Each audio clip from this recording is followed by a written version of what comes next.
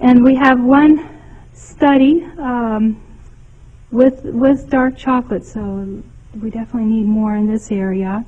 And this was by Schramm in 2001, where they gave one dose, uh, about a standard size uh, bar, and measured their leukotrienes, and they found that these were decreased, and these are, are inflammatory prostaglandins that um, can lead to that bad process of atherosclerosis. So this was the one study that did show an anti-inflammatory effect. But I did want to highlight um, this Molisani project out of Italy. It's an observational study. It was designed to examine factors responsible for cardiovascular disease and cancer.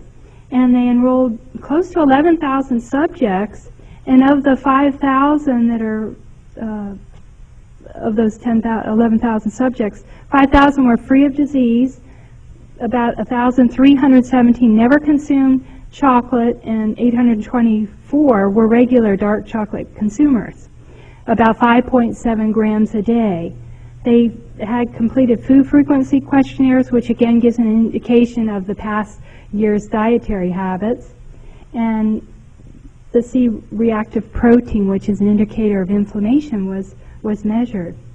And this is what they found. They found that the serum CRP was significantly higher in the non-consumers. It was 1.32 milligrams per liter compared to dark chocolate at one, practically one milligram per, per liter. So this was a significant uh, difference. And in fact, um, dark chocolate, their conclusions were dark chocolate consumption in regular small amounts, not greater than 6.7 grams per day. That's actually ameliorated the effect. The benefit went away.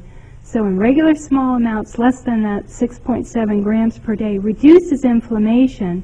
And in fact, the risk of cardiovascular disease would be decreased by 33% in women and 26% in men. So this just came out in the Journal of Nutrition this October uh, issue. So that's some good information that we have. And then um, I wanted to also point out another report that came out this year that reviewed 133 clinical trials on the effects of flavonoids on cardiovascular risk factors. And they found that dark chocolate at an approximate amount of 50 grams, which is just a little bit more than the standard size, in either acute, which would be about hours after the dose, or chronic uh, consumption would improve endothelial function, which we saw before in those studies. No change in cholesterol, so a neutral effect. It would reduce blood pressure. In fact, a 5.9 millimeter decrease in blood pressure seen with chronic intake would decrease stroke risk by 8%, coronary artery disease mortality by 5%, and all-cause mortality by 4%. Again, um, of course, with again the issue of fat and calories in, in chocolate comes up, and they are you know recommending caution related to that as well. So this is the big picture.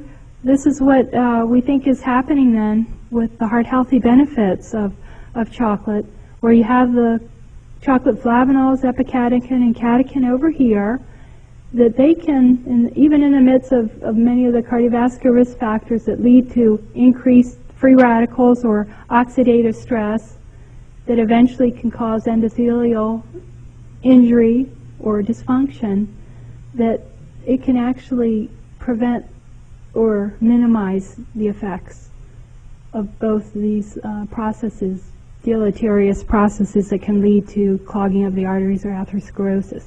So from there, you won't get the vasoconstriction, you won't get the clotting or thrombosis, and hopefully the inflammation too would be minimized. And we will just totally avoid this whole bad scenario leading to uh, cardiovascular events such as heart attack and, and stroke. And based on um, ratings, uh, I have found out some good information as far as uh, what consumers feel is the best dark chocolate bar. And this isn't based on any of the science or anything, but just uh, going by taste, and so I have, they had three categories. They had excellent, very good, and good. So I have the excellent and the very good categories listed here. And excellent was, uh, consumers felt was complex flavor, very chocolatey, smooth, a treat to nibble or, or savor. And you can see the percent cocoa.